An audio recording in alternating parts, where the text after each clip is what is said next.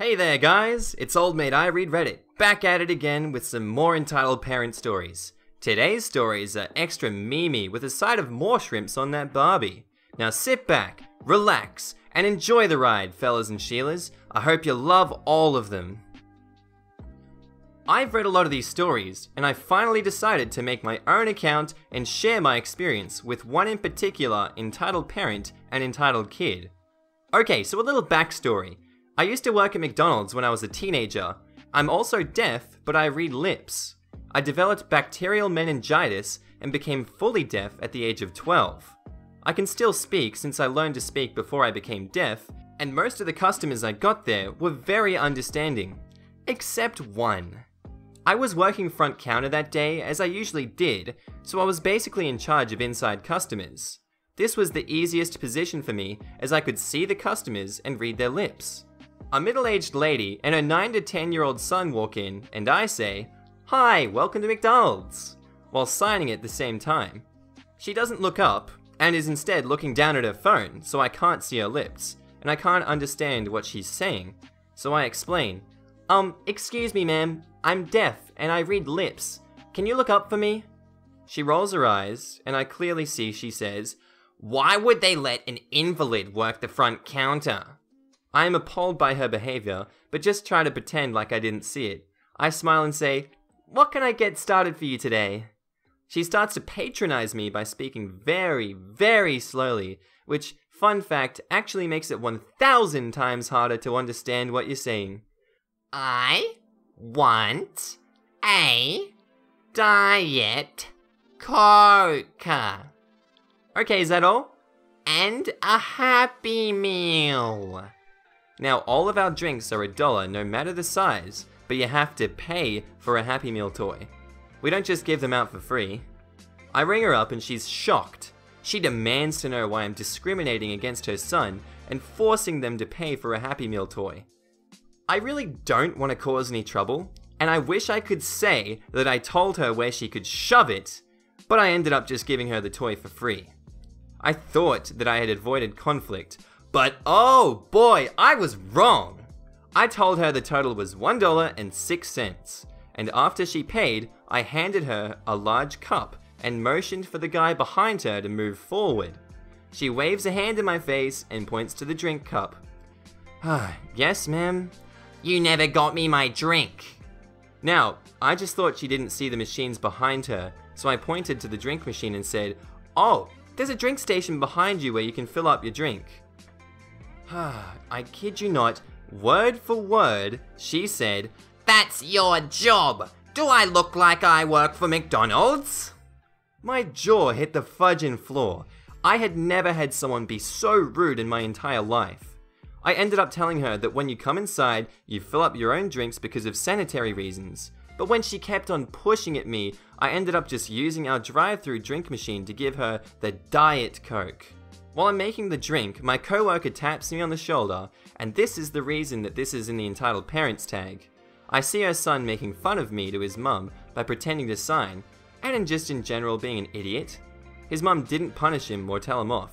Instead, she encouraged him and started to make fun of me with him. I went to the back and ended up bawling my eyes out. I felt incredibly embarrassed, and like I'd made a fool of myself by having a disability. I turned in my two weeks' notice about a week later and haven't worked in fast food since. And to everyone reading this, please be kind to people, especially your fast food workers. It's a tough job even if you don't have any disability. And if you see people with disabilities working and trying to make a living, please be patient and help us out by just letting us do our thing and making us feel welcome. Thank you. I have worked at a telecommunication provider for a number of years. My role is as a sales associate in a storefront, so we are customer facing. We sell phones and plans, but also handle customer service and billing inquiries, and technical support. I have so many entitled parent stories, but this one was the most outrageous I've encountered. Happened a few years ago. The basic information here a family, entitled dad, quiet mum, and embarrassed teen, come into the store, and my dad immediately started going off. Madder than a cut snake. Apparently, we've scammed him, and he not only refuses to pay the most recent bill, but he's going to have us all fired if we don't fix his issue immediately. I'm not too phased by the yelling and swearing, as it's not uncommon in this job, but I know my coworker doesn't handle conflict well, and my manager is on lunch. So I step up and try to calm him down, directing him and his family to take a seat at my workstation so I can have a look at the account. I confirm that this account is for the son's mobile phone. The bill should be about $50 per month, but this guy's been charged over $3,000, which shouldn't be possible as he was on an unlimited calling plan and hadn't exceeded his data. I let them know that I'll be a moment while I checked out why this is. Turns out, it's almost entirely content services. These are generally voting lines, competition lines, content and game downloads, sometimes scams, reverse calling, in-app purchases, all that kind of stuff. This is a service offered and charged by a third party. The bill doesn't have the name of the company on it, but I can see the number. It's been called dozens of times in this month. I pointed this out to the dad, who promptly loses his crap. At this point, he's yelling something to the effect of, This is some kind of bullcrap fudge and scam! You people are thieves! I am not paying this, and if you don't credit the account, I'll make sure you lose your job. I'll have the fudge and government crawling up your butts. I'll have the fudge and store closed down. Probably burned to the ground too, who knows. I wait until he's out of breath and calmly continue, saying that in most cases, if it was a genuine error, then the company that provided the content services and so charged the account, a third party provider, not our company, can refund the charges. Unfortunately, because our company did not provide the content, we are unable to issue a refund. I explained that it's like asking for your bank for a refund of a purchase from a department store. The bank can't provide a refund as they didn't provide the service. The son at this point is vehemently denying that he ever used the service. The entitled dad starts raving again, same stuff as before, but also demanding that I pay the $3,000 bill. I obviously refuse and tell him that unfortunately, if his son used a content service, he will have to pay for it. That's how the world works. Otherwise, he has to call the company who charged him. The entitled dad and the quiet mother both also insist that their precious teen wouldn't ever do anything wrong. Oh my god, he is such a good boy. Clearly, I'm in the wrong, etc., etc. Unfortunately though, I simply can't put the credit onto the account. Only the over the phone billing reps can credit, and for that much money, you'd need a third level manager to do it. We talk in circles for a while, while the dad's getting madder. And madder. Eventually, he exclaims that it's probably a fake number anyway, and tries to call it from the teenager's phone, trying to prove his son had never called the number before. It rings, it's on speaker, and then a sultry female voice answers. Sexy voice says, Hi, EK's name. Oh my god, where have you been? I've missed pleasuring you so much. There's a stunned silence as we all realize this teen has been calling a sex hotline, and the dad hangs up. The mother looks like she might faint. The son turns bright red and the dad goes super pale. There is no denying it. She used his name. I'm trying so hard not to burst out laughing. This ballsy 14 year old has blown nearly $3,000 on a hotline. The dad actually grabs his son's ear and drags him out of the store. The mum follows. Neither of them say anything as they leave, and I never saw them again. TLDR Parents blow up at me for their son's phone bill. Turns out it's $3,000 calling us a very cool hotline. So this is the story of a kid that is so angry of dying on a PvP server and calls his mother saying that I am a hacker and crap. It went like this. So I started looking for a group on Xbox and this kid showed up. So I invited him for the game and he kept saying, level me up, level me up, level me up, repeatedly. I say to him, look, let me make this fair for you. I will put you on my level so it's balanced, which is level 23. Okay, but can you give me my weapons? No, just level up yourself and craft it. But I want it now, I want it! Look kid, if you keep begging for weapons, I'll have to kick you out. Then he started playing by the rules until we met the south part of the map. Now I will kill you! So naturally, as any sane person does, I shoot him several times until he dies. And he goes, What? You are hacking! I say to him, no, I just have a better weapon than you.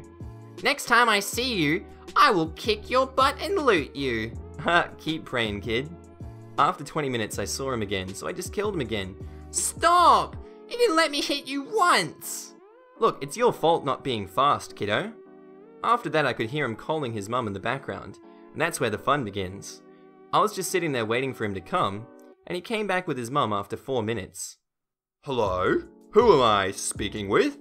Um, Captain Galaxius. I said it as a joke. It's a really funny joke.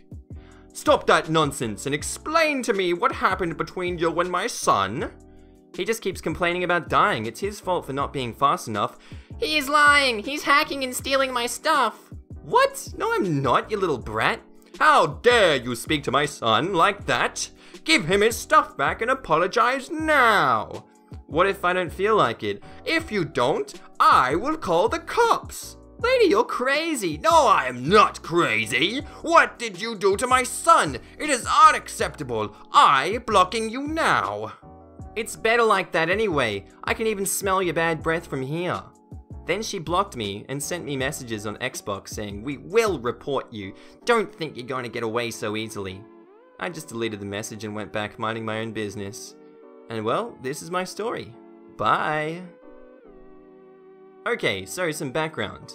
I was adopted when I was 5 months old. I have two very loving mothers and five amazing sisters, also adopted. As far as I knew, my birth mum was some businesswoman who didn't want to raise me. This story takes place when I was 12, so the facts may be a bit fuzzy, but here we go. One day in January, my older mother received a phone call from a woman claiming to be my birth mother, asking if she could visit me. My younger mum figured why not, thinking she might just want to be a good person. So they set up a date to meet me at a local park. We go there early to wait for them to show up. She is very pregnant, and the guy next to her was in a suit. We meet, and everything's fine, if a bit awkward until she says, So, would you like to come live with us? Uh, no, I don't want to. I was impatient and wanted to play, and I ran off with my sister until I hear my younger mother yell at my birth mum. You are not taking my daughter! Birth mother says, I'm her real mother. I'm taking her home. You most certainly are not. She's our daughter. My birth mother screams at her and goes, I don't give two craps what you think. I'm taking her. That's when she gets up and starts running to me, grabbing my hand and yanking it. And that's when my older mother tackles her, former military and very muscled, pinning her to the ground easily. The husband called the police my mum, yelling to let her go. A few minutes later, two officers show up after giving our statement.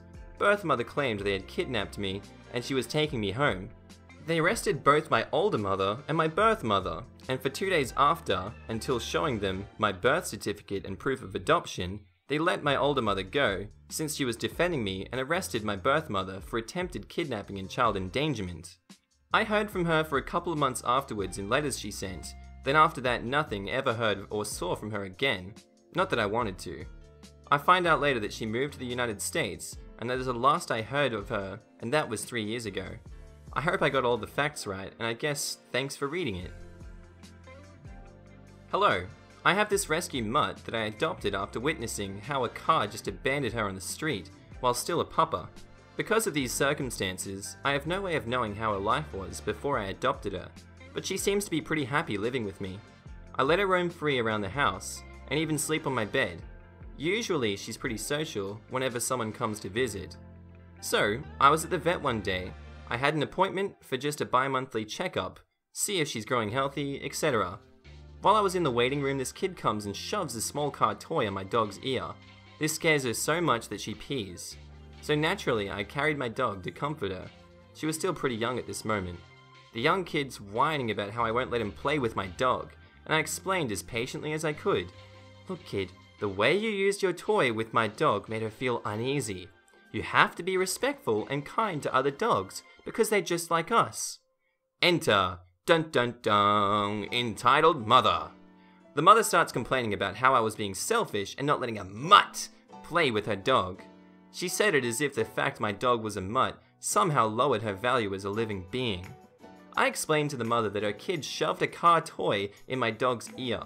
To which the entitled mother just replied, So what? Your dog isn't well trained. Dogs should be able to withstand anything kids do to them. Young kids just think of dogs as toys. I was going to say something when the vet came out of the office to see what was going on. Apparently, the entitled mother came to adopt a rescue dog from the vet. To which the vet replies, Unless I see commitment from your part to educate your kid on respecting animals, I'm afraid I cannot let you adopt any pet. Most of the pets we have for adoption here come from abusive households, and we won't let them be adopted by someone who sees them as objects for her child to toy with. At this point, the entitled mother was just furious. I promised that my son that I would get him a dog if he studies hard. He deserves it. To which the vet replied, No pet deserves to be threatened like a toy by a kid while the parent fails to educate the kid about respecting animals. My decision is final. You cannot adopt any pet from here. The kid was crying, but neither the vet or any employee or myself cared at all. It was clear that the mother just wanted to give the dog to her kid as if it was a new toy. The mother complained about how he ruined the kid's childhood and left extremely upset. Obligatory, I'm on mobile and don't know how to format very well. This happened when I was 7, I'm 27 now, and I won't remember most of the details. Also, it's kinda long. Also, I'm a guy.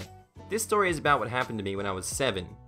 Anyway, I was living in Seattle with my parents in one of those townhouse complexes. One of those places that basically is just a bunch of houses connected to one another in a row.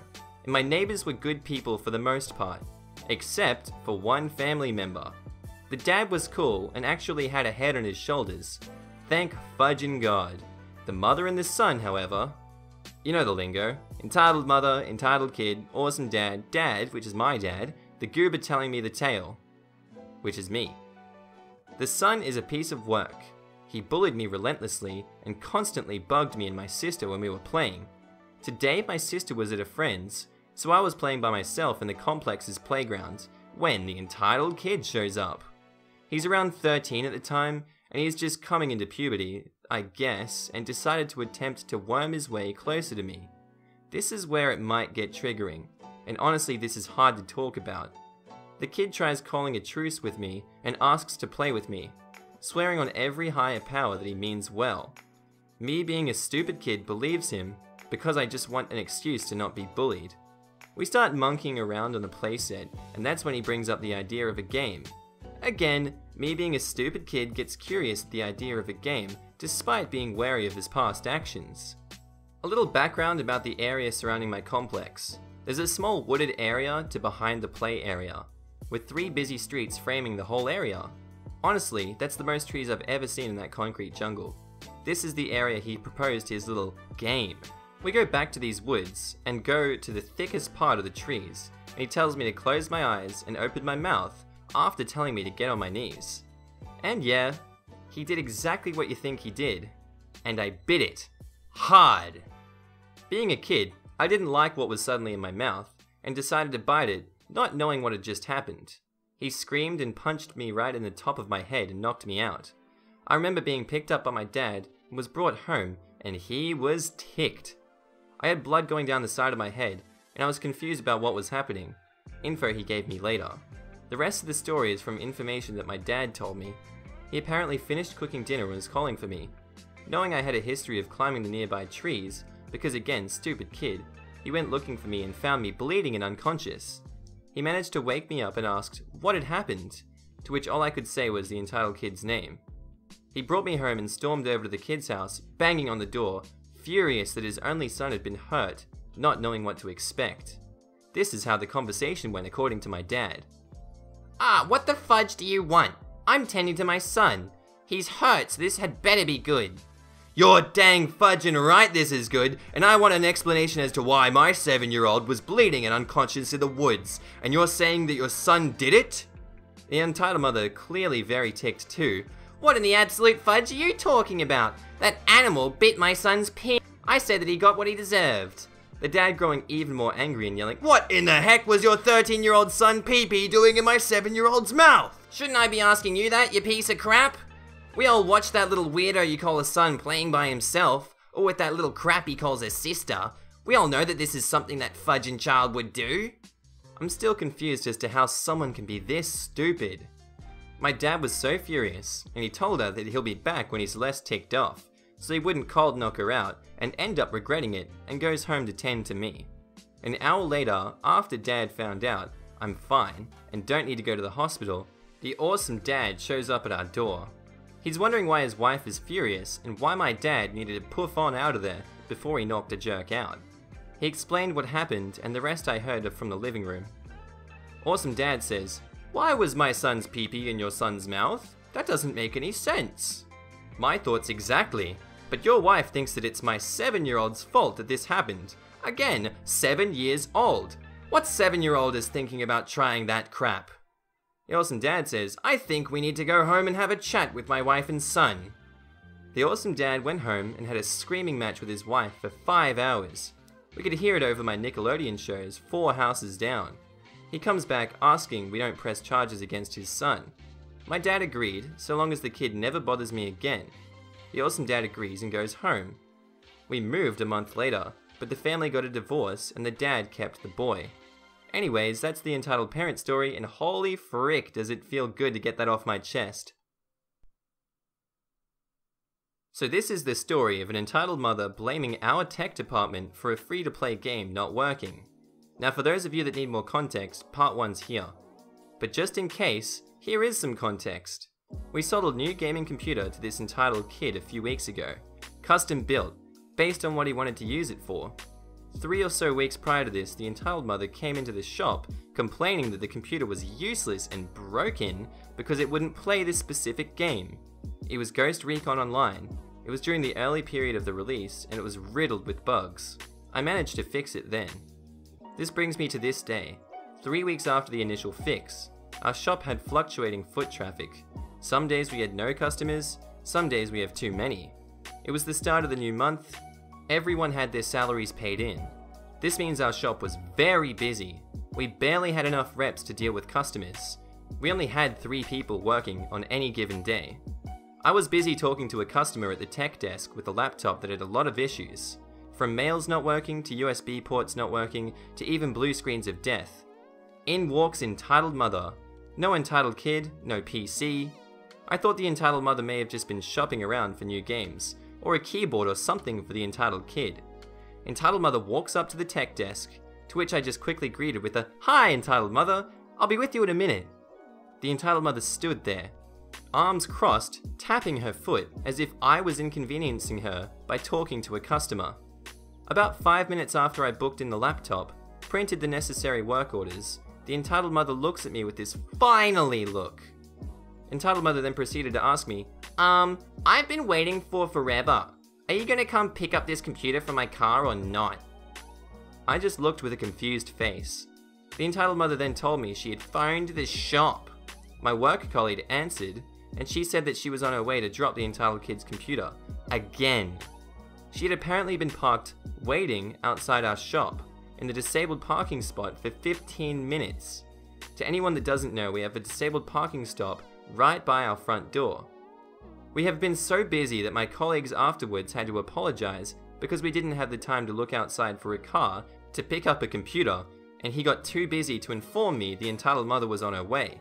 Customers did this often, but I do have a few more stories about stuff like this. So onto the computer. I went outside to fetch the machine. The entitled mother annoyed again, asking why the game doesn't work. After a few minutes, and an entitled mother trying to explain what her son told her, I said I can figure out and have a look.